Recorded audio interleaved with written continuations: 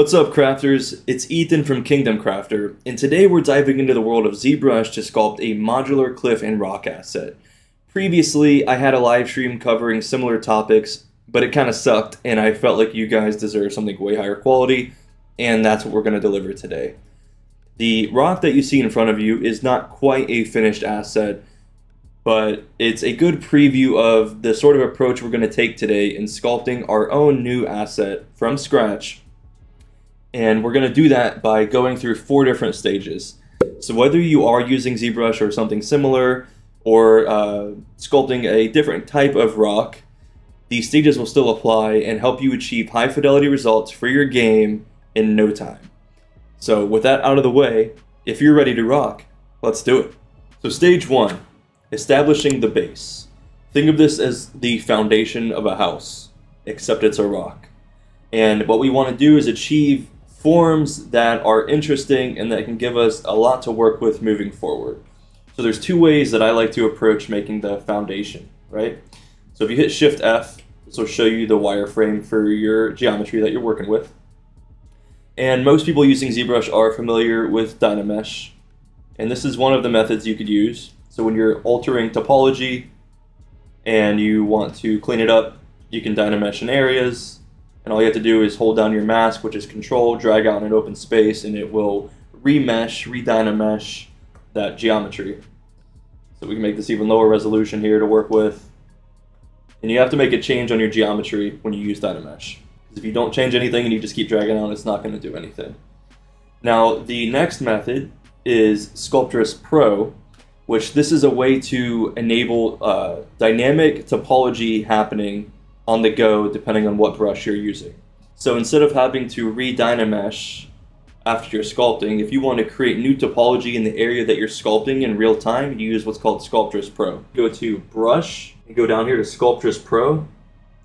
You can see that there's an enable option. So if we enable this, turn off Use Global, we can set a new parameter for this brush. So the higher your subdivide size, the lower resolution it is. And make sure it's enabled up here too. Now as we're sculpting, you can see that it made those areas super low poly. Now, it may not look super clean right now, but it gives you a lot of freedom to create whole new faces and uh, different forms and change your silhouette dramatically.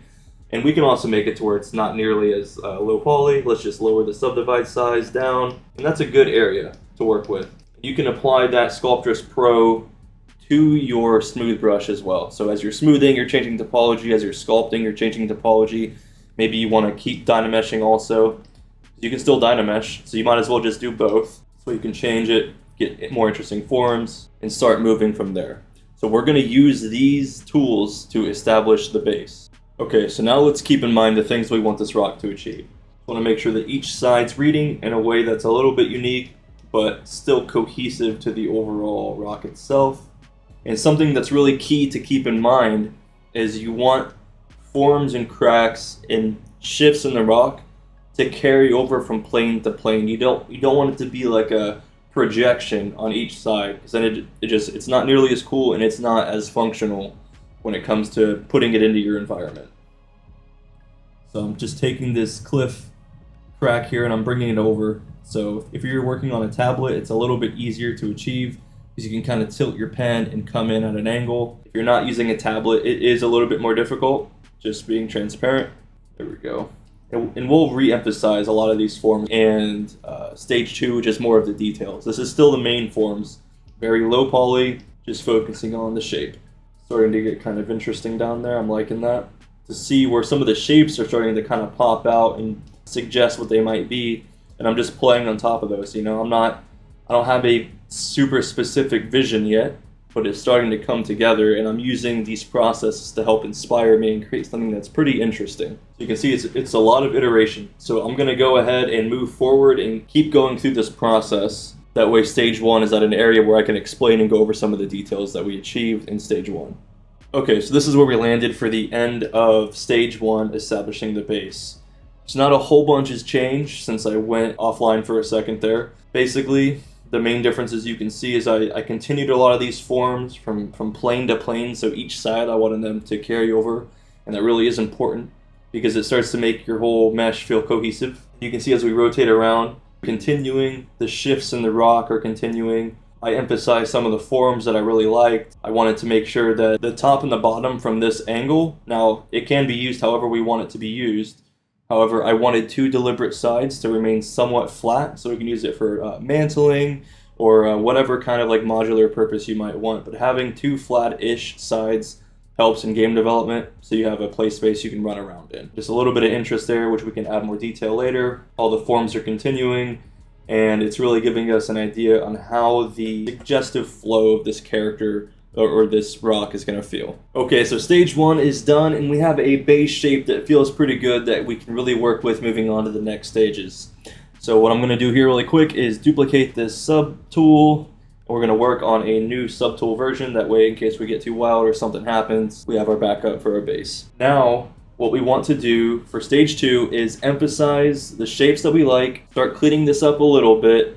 We're not going to move into tertiary detail, but we're going to do things such as start emphasizing these shapes and finding out what I really like about them, what I might want to change, and just making them read a little bit better. That way, as we move forward to the next stages, we'll be able to really have a asset that feels polished and has a good amount of attention to detail. This would be an example of, of, of about how far I want to push the detail. There's a little bit of suggestion on the edge that there's a step there, but I'm not going into like really defining cracks or making it too intricate, just enough to where we know what's going on. Okay, so I'm going to go ahead and start with this chunk and I'm going to move throughout this, this rock here and kind of do the same thing to various pieces, maybe continuing some of these flowing steps and shelves and plane shifts, just to really give us something to work with that's fun. And we have to think about this also from the player's height and modularity. So even though we're going to be flipping this around quite a bit, we know for the most part that it's probably going to be used in a fashion that's either rotated horizontally as it's seen here, or flipped and rotated horizontally as seen here. So one of the two. So this side has a little bit more of an extreme shelf up top, and this side is more of a sloping, it's more of a chunky base, right? So we can use it both of those ways on, on all four sides, and technically we could flip it and use it the other way too, but we're going to design it in a way that's going to be used for all eight of those variations. Here's a perfect example of like creating a new line that would go down. So that's the sort of detail and form and shape language I'm going to go for in stage two. So I'm going to go through and achieve that and explain what I did. Again, don't want to do it completely in real time. It'll just take too long. But if you guys are interested in me walking through this more in real time again and making a better video than I did the first time around, let me know and uh, that's something we can do. All right.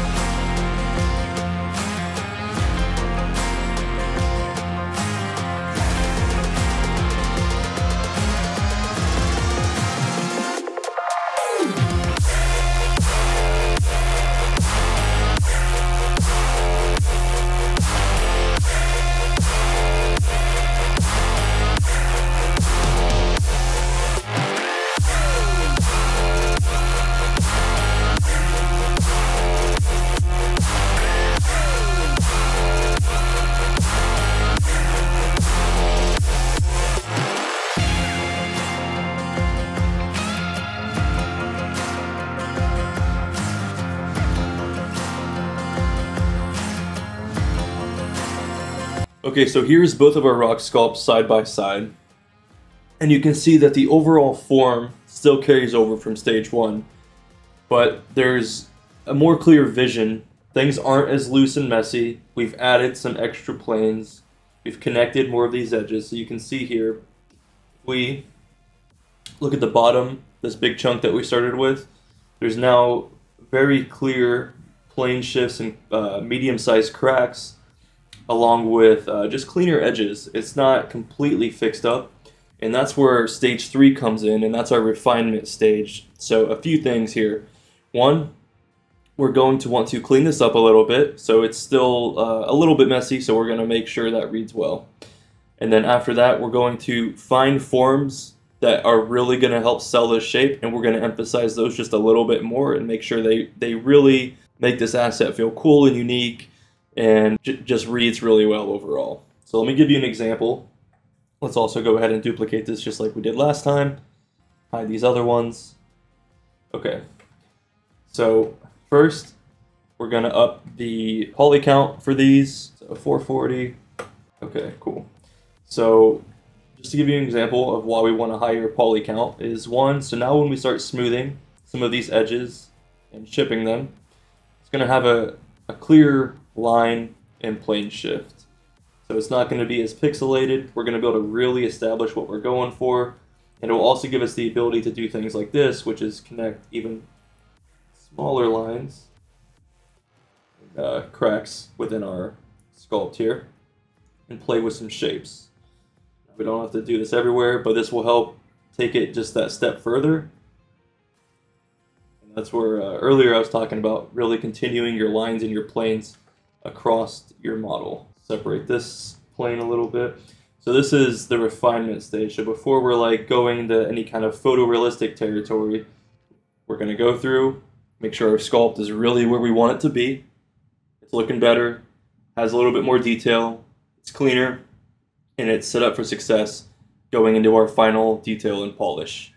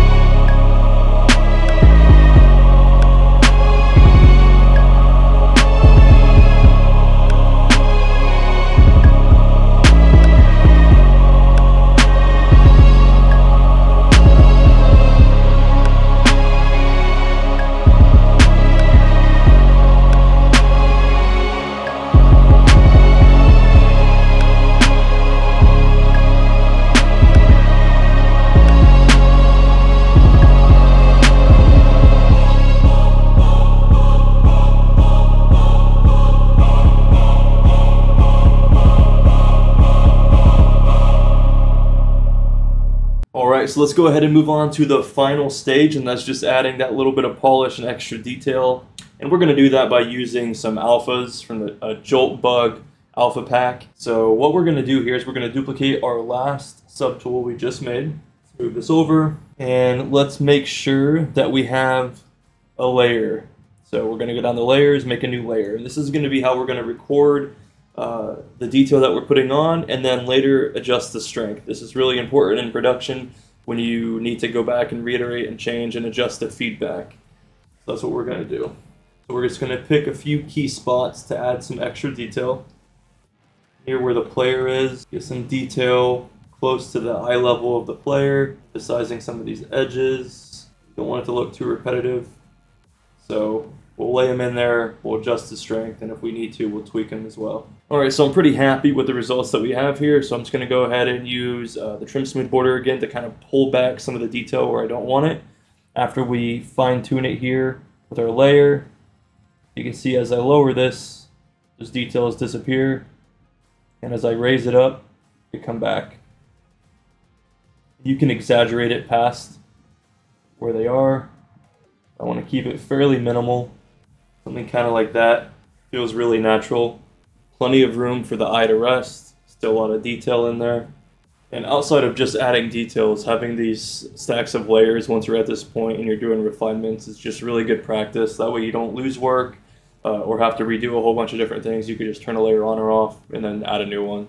That's pretty good on the sculpting. So this wouldn't be a complete tutorial if I didn't show you how this sculpt actually functions in a game environment. So I'm going to go ahead and show you how it works inside of Unreal.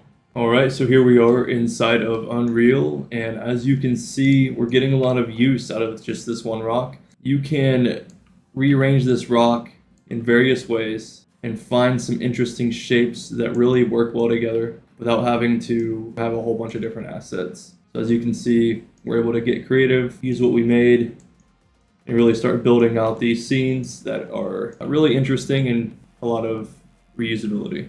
But I wanted to give you an idea on how you could use uh, world space triplanar textures and modular cliff assets to really build out your level and your scene. So this is just a tiling texture I made, threw together a shader, and you can see all the areas that we left out and didn't quite get down to the micro details uh, is honestly solved by the texture itself anyways. Alright, Legends, that basically concludes the tutorial here. Hopefully you found some value in it and will help elevate some of your workflows. Again, if you liked it, give it a share, like it, comment below what you want to learn next. I have a few ideas, but I'd love to hear what you guys are thinking. Until next time, see ya.